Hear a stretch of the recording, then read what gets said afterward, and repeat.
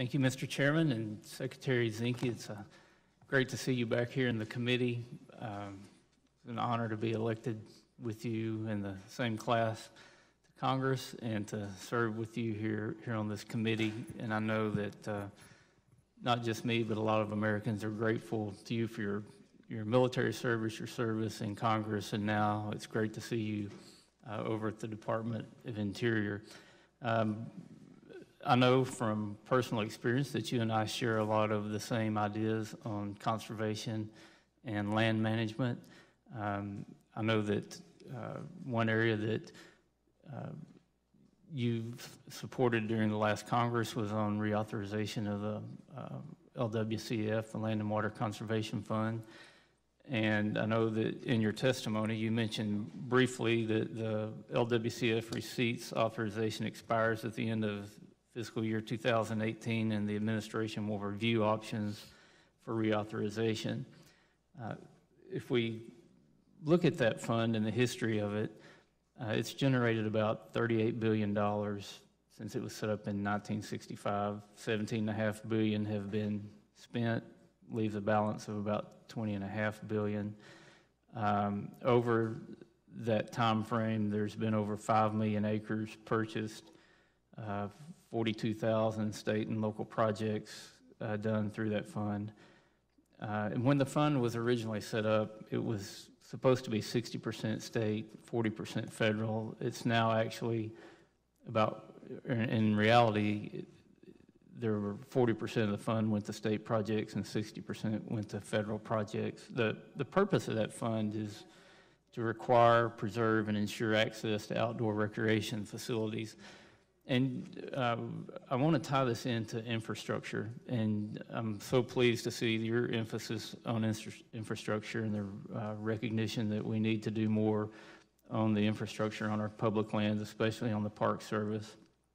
Um, But there's, there's not been a whole lot of the Land and Con- Water Conservation Fund, I believe, spent for the preservation and ensuring access to outdoor recreation facilities, and infrastructure plays a vital role in that. So my, my question to you is, do you think that there's opportunity to, uh, maybe through a reauthorization, to restructure LWCF so it's focused more on state projects, focused more on taking care of the assets that we currently um, have in the system?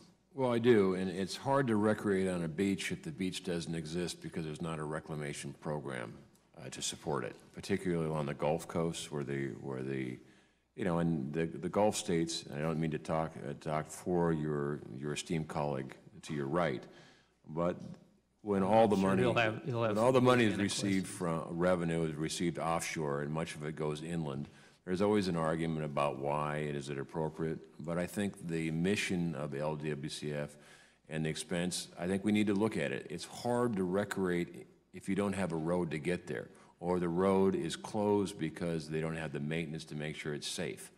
So using the LWCF in the spirit of how it was formed, uh, to restore lands that would provide access to public activities, recreation, I think is, is an area where we would agree uh, that we should. The states should have more say.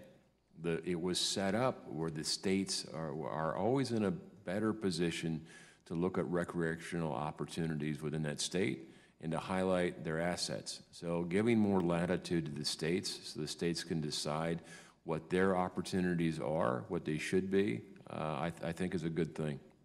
So do you feel like you have authority under the current authorization to use more of the LWCF funds for uh, infrastructure?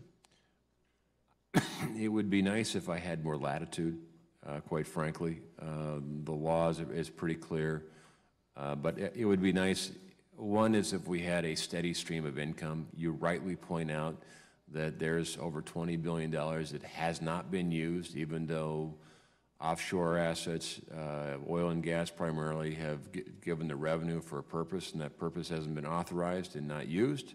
Same with, same with Bureau of Reclamation, by the way. Bureau of Reclamation is about 18 billion of unused. These are revenues intended to build our rural and reclamation opportunities for water. That is untapped, uh, continues. So I would like Uh, Personally, I- I'd like to work with you to have a steady stream and give the states more flexibility and use those monies uh, with, with more flexibility to provide greater public access and use.